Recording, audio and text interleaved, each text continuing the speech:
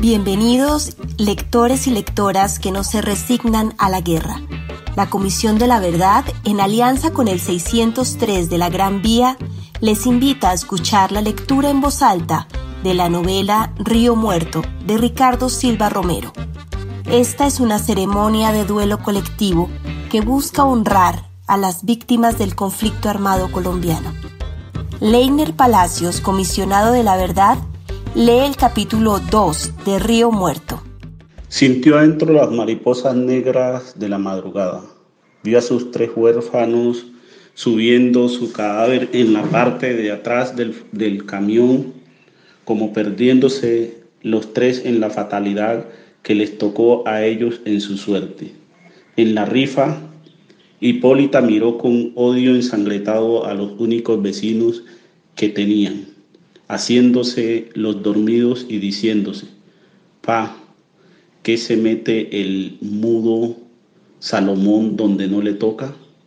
Allá en la casucha de enfrente, el par de mal, malnacidos, pero pudo tragárselo los gritos que tenían atragantados porque sus hijos le rogaron que no agravara el viacruce. Vamos, la mamá, súbanse al carro. Más el hijo mayor, que había aprendido a manejar el furgón hacía unas semanas, uno no sabe, escribió papá su papá en la libreta sin tener ni idea insistió en que se subieran los tres en la cabina. Pero Hipólita, que apretaba los dientes y los puños, insistió en irse allá atrás con el cuerpo de su marido. Hipólita se sentó sin aire en el remolque, sobre una llanta de repuesto, junto a su cadáver no notó las figuras de sangre, las sombras de sangre en las uñas de las manos y en los bordes de su falda de flores. No notó la tembladera, ni las curvas violentas, ni los frenazos del furgón que su hijo mayor a duras penas conducía. Se puso a maldecirlo a él, al cuerpo que fue él por dejarla sola en Belén del Chamí, por romper el pacto que había hecho de morirse juntos cuando los niños fueran viejos, por írsele de buenas a primeras sin ni siquiera haberle dado la oportunidad de pensar si ella quería irse con él, por él, detrás de él. Y ahora de qué vamos a vivir y quién me va a llevar al trabajo y dígame qué voy a hacer yo con mis dos hijos si yo sola no puedo. Hipólita trabajaba en el mercado a la vuelta de la esquina de la inspección de policía. Era la cajera desde hacía tres años porque no se le escapaba ni un solo peso, ni un solo detalle. Don Cristóbal Murcia, el dueño, le tenía el mismo respeto que les tenía a los hombres. Doña Miriam de Murcia, la mujer del dueño, le tenía el mismo cariño que les tenía a los hombres. Cuando se iba para el parque a la hora del almuerzo, se ganaba el saludo de todos los tenderos de paso y los feligreses confundidos y los lancheros del río y los pacientes del centro de salud. No solo su marido que, que hacía trasteos por todo el municipio de Monteverde, sino también ella, que prestaba y fiaba y regalaba y animaba a los clientes, se había estado ganando el cielo obra a obra, obra por obra. De los 3.931 habitantes del corregimiento de Belén del Chamí, que Chamí es cordillera, en la lengua embera, Más o menos la mitad sobrevivía a duras penas. Pero dígame usted, ¿qué se puede esperar de un lugar que no está en el mapa? Cada tanto el gobierno de turno les promete comenzar a ayudarles, por fin, dándoles un sitio en el plano del país. Juran por Dios que les traerán una escuela o un acueducto, cualquier cosa de allá. Pero lo cierto es que nunca jamás va a pasar nada más que esto. Solo esto es un poco mejor que el infierno, porque lo que mal comienza, mal termina. Los abuelos de Salomón y los abuelos de Hipólita y los abuelos de Cien más descubrieron a finales de los 40 este lugar, un triángulo verde entre el verde que va desde el Chocó hasta Antioquia, escapándose como tantos liberales tolimenses y opitas a las brutales torturas lideradas por la Iglesia Católica. Pero la paz imaginaria de los desterrados y los fugitivos y los desertores les duró veintipico de años no más. De los 40 a los 80, Belén de Chamí, que así le pusieron para hacerse pasar por chocuano, por emberas. Fue llenándose de perseguidos y hostigados y hostigados de algunos negros y de muchos blancos cansados de la vigilancia de los inquisidores y sin embargo ese revoltijo de destacados consiguió sobrevivir sin mayores arrebatos de la violencia por obra y gracia. Eso me dijeron. De la iglesia pentecostalista del Espíritu Santo. Y fueron los pastores de la iglesia católica quienes le metieron en la cabeza a los belemitas, hartos de curas pájaros, la idea de que en ese delta verde no importaba el partido ni importaba la raza ni importaba el origen, sino solamente el espíritu. Pero fueron los guerrilleros que se tomaron el poblado en 1975, los enajenados que les disciplinaron los cuerpos. Era mejor que los hombres solo tuvieran una esposa y llevaran el pelo corto y llevaran y llegaran a la casa antes de las 10. Era mejor que las mujeres solo trabajaran en caso de emergencia y usaran falda hasta las rodillas y estuvieran en sus hogares por todo por tarde a las a las 5. Y era lo principal que los hombres fueran los hombres de verdad y las mujeres fueran mujeres de verdad. Y que se levantaran temprano a vender plátano y planta de aceite y níquel, y que fueran librando de la, lombri, de lobridez del infierno obra por obra. Podían seguir yendo a las ceremonias de los fines de semana. Es más, debían ir, porque Dios dijo lo mismo que dijo el comunismo. Pero antes tenían que jurarle lealtad al viejo Frente 99 tal como los pastores pentecostales se le habían jurado de rodillas. Siguieron 15 años de paz patrullada y fiscalizada. Persona que saliera a deshora, persona que se iba al río, al río Chamí, al río muerto. Vino el imperio implacable e inclemente de la guerrilla. Sí, y entonces no hubo alcaldes, ni concejales, ni agentes de la ley, ni enviados del gobierno, solo camaradas y pastores en la lucha. Y los padres de Salomón y los padres de Hipólita envejecieron allí. Y Salomón se casó con Hipólita allí. Y en esa tierra pobre y empobrecida tuvieron los dos hijos que tuvieron. Y se dieron una rutina sin bajezas y sin sobresaltos.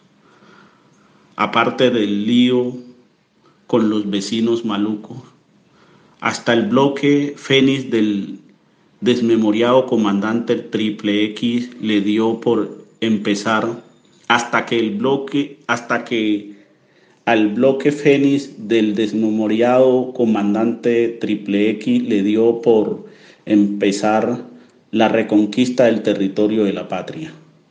En la cabecera del corregimiento pusieron una valla que decía, no hay imposible sino falta de huevos, y volvió la guerra. Pretendían despejar los pedacitos y los túneles de la droga, según se dice en los reportes de los historiadores, y aspiraban a pasar por ahí siempre que les viniera en gana, pero ellos repetían hasta, creer, hasta creérselo que estaban devolviéndole la independencia a esta bella nación. Pronto el bloque se quedó con todo. Un año antes de su ajusticiamiento mataron al mudo Salomón. Ocurrió en las orillas de aquel manso y claro río Chamí, que entonces les dio por llamar el río muerto.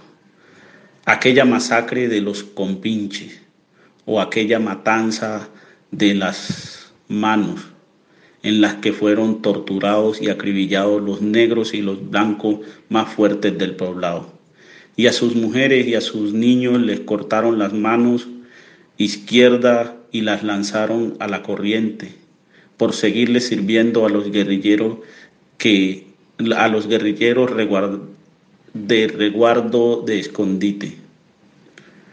Luego en la plaza del pan, que es la plaza central, pero le decían así porque en ella solo hay tres panaderías y el enorme templo pentecostal y los cinco abarcos que no fueron talados.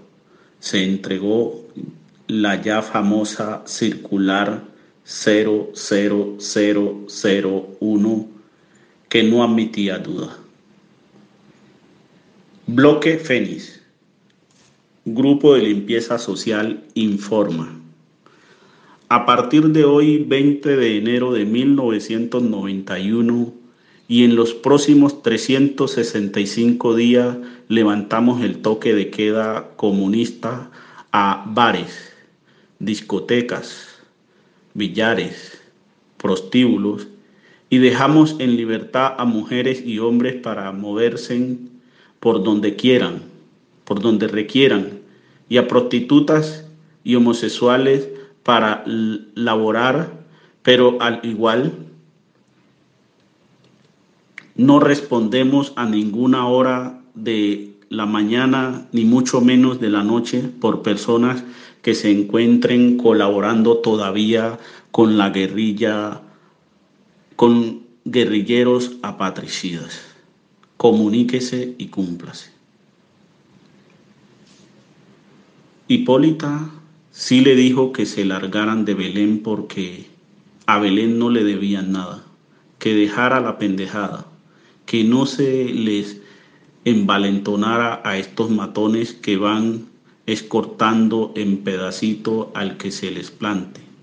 Y él, más terco que heroico, más trabajador que terco, sin embargo siguió haciéndole los trasteos a todos porque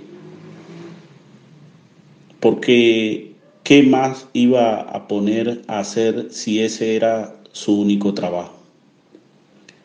Y estos pistoleros le advirtieron dos veces que la tercera era la última, e incluso el capitán Sarria, el agente de policía que le tenía ganas a su mujer, le dijo, ojo, pero como él iba a decirle que no a su compadre Eliezer Chaparro, Eliezer quería dejar Belén de Belén hacía rato porque Él sí que les había guardado la espalda a los guerrilleros y era cuestión de tiempo que lo delataran los traidores y los rencorosos que no faltaban.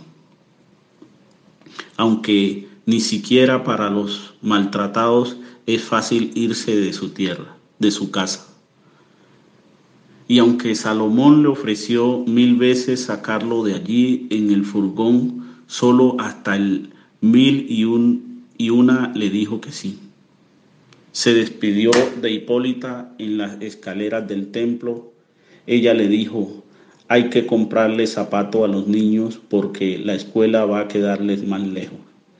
Y él sacudió la cabeza para decirle que sí. Y ella le contestó, nos vemos más tarde. Y eso fue todo. 12, 13, 14 horas después estaba ella echándole la culpa a su cadáver, que no era más que un pobre, que, un, que una pobre carcasa ensangretada, por haberse hecho matar como cualquier conocido de cualquier conocido, como cualquier extraño, traicionero, le gritaba porque el otro día habían quedado en irse juntos. Faltón, su cadáver su cadáver cada vez más frío y cada vez más tieso temblaba porque el furgón temblaba con cada hendidura del camino. Tenía la mandíbula agarrotada y los ojos abiertos como aterrados por la mala noticia. Tenía un tiro en la frente, un tiro en el pecho y un tiro en el hombro, uno por cada huérfano y uno por la viuda. La sangre le escapaba y se encostraba sobre los costales y los cartones del, del remolque, pero ya ni eso, ni siquiera Eder era señal de haber vivido. Era el infierno que predijo el pastor hasta el agotamiento, que morir fuera sentir esa vergüenza por siempre y para siempre. Verla maldiciendo su cadáver y su recuerdo de aquí a que ella muriera y que no y no perder y no poder echar atrás vida y jueputa. Hipólita que solía sufrir por muchos, por mucho menos, se tapaba la cara con las manos mugrientas y se encorvaba sentada en el piso de la lata, porque apenas podía respirar y no se le ocurría cómo más recobrar el aliento. Señor, llévame a mí también, que yo no puedo sola. Nada más pasaba aparte de ese daño, de ese revés para siempre. Y le daba igual que el camión cojeara y diera pasos en, en falso por la orilla del camino que les gritaban, que les gritaran. Salomón desde las puertas de los cultivos de arroz y de, los, de las plantaciones de cacao y de los entablos que se quedaran atrás, los misterios y las bestias, las, las bestias de las veredas, que aullaran los perros mutilados a los que nadie les sabía los nombres. Y ella no se acordaba ni siquiera de quién estaba conduciendo y era un via crucis sin testigos y sin piedades. Salomón podía ver a sus dos hijos en la cabina, haciendo lo posible por llegar a Belén sin volcarse y, y repitiéndose lo que acababa de pasar y jurándose el uno al otro que no se quedarían en paz. Pero él ya no podía prometerles nada. Apenas podía temer por el desmadre que vendría. Gracias por escucharnos. Los demás capítulos de la lectura los encuentran en todas las plataformas digitales de podcast. Les invitamos a seguirnos en redes sociales. Encuéntrennos como arroba Comisión Verdad C y arroba 603 de la Gran Vía.